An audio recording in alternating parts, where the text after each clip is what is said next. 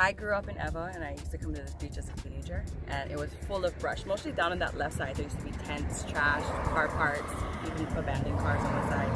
Um, and I moved to town and I came back like a couple months ago and I was shocked to see all of this cleared out. And it's just it's beautiful. It looks like the beach is so much bigger and just it's nice to be able to bring the kids to with like less know, less trash everywhere and less brush it just makes it a lot more beautiful.